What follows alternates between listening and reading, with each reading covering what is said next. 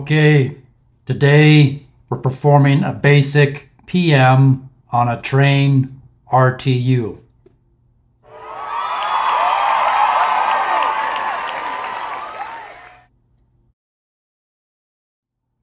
So safety first, make sure you turn off your disconnect switch.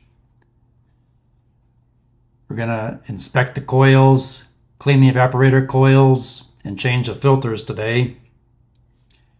Remove this access panel to access your filters in the evaporator coil. Remove the old filters, they simply slide out.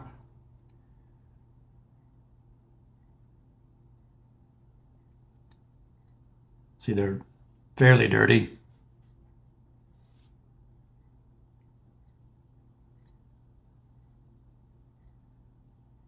I like using this no rinse coil cleaner.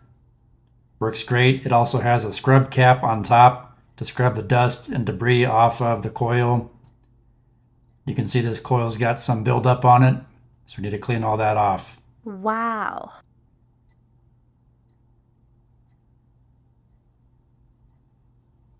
So just use that special scrub cap and just be gentle on your evaporator coil cooling fins. You don't want to bend them or smash them. And if you can, I'd recommend wearing a respirator or a dust mask and safety glasses.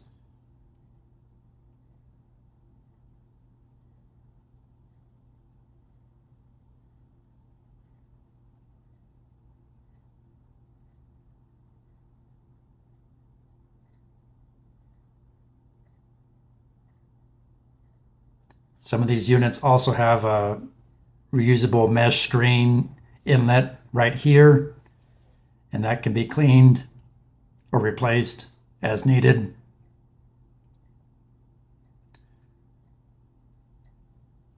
Once I scrub most of the large debris off, then I'll use that no rinse coil cleaner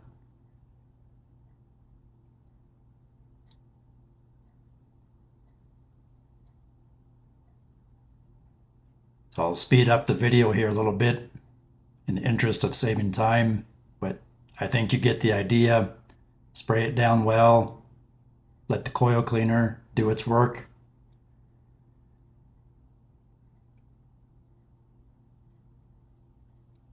It's also a good time to check your P-trap, your, your condensate drain line there. Make sure it's clean and clear, not clogged.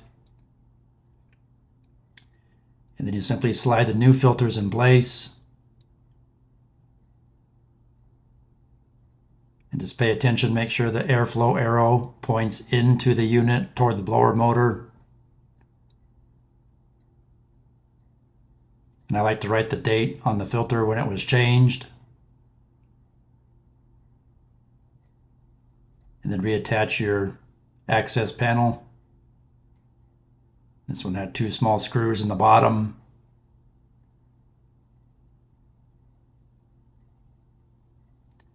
And then we'll also take a look at our condenser coil, make sure it's not bent or clogged or dirty. Inspect the fan blades.